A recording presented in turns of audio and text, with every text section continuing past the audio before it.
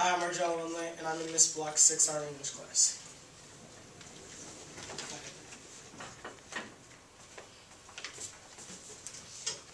Miss Block, you can say. Look, look, let me have it. Alright, slow down there, Curly. No, let me at that big son of a bitch. Ain't nobody getting, getting away with the cheap shot on me. Well, well, where am I? That was a mighty big shot you took. He hit you right in the head. You talking about that lucky hit? I'll kill him. You just wait and see. I don't know about that, Curly. He seemed to get the best of you. Is you goddamn out of your mind? I can't wait. I can hit him with one hit, even with my hand like this. I wouldn't use the Lord's name in vain, especially when you're speaking with him. Hey, what do you mean? I ain't falling for that. I was serious when I said he got the best of you. He killed you with that punch. Now we need to decide if you're going to heaven or hell. Let's look at your life. Do you remember a worker at your dad's farm who went by the name of Lenny? Yeah, I wanted to kill him for killing my wife. You never seemed to be very nice to Lenny. And he never had any bad intentions towards you. Oh, and about your wife. What about my wife? Did you ever care about her? I love my wife. She was only an object that you possessed for your own pleasure. You didn't even treat your own wife with respect. Name one nice thing you did in your life. Hmm. I have, actually. Oh, yeah. No.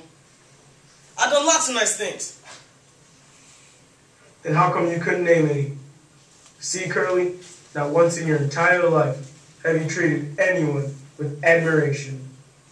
And for that reason, I cannot permit you into heaven. Sorry, you had your chance.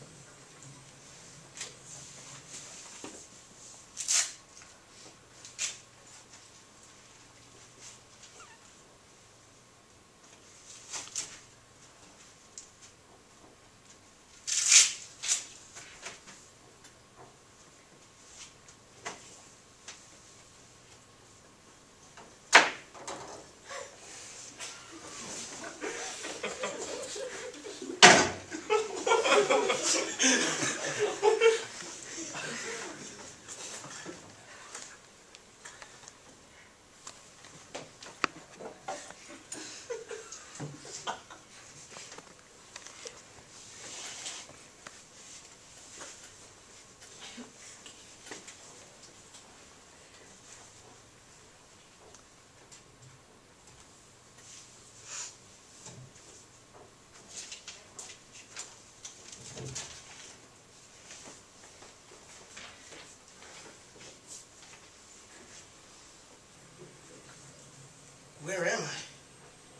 Hello, Slim.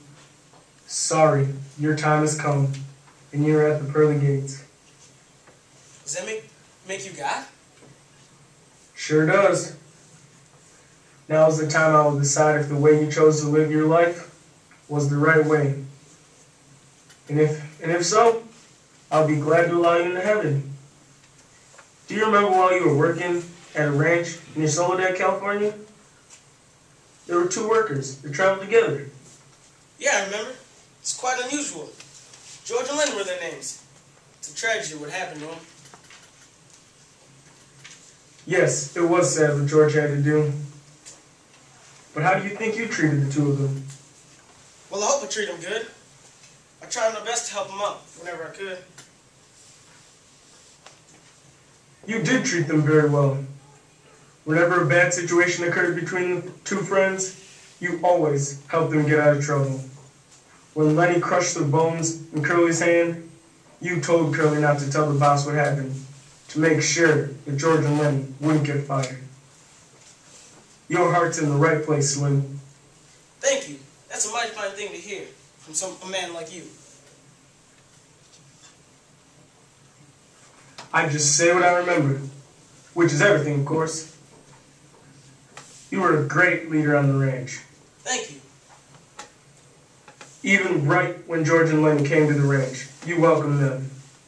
It seemed like everyone in the ranch thought you were a good guy. You were a humble leader until the day you died. And that is why you are allowed in heaven.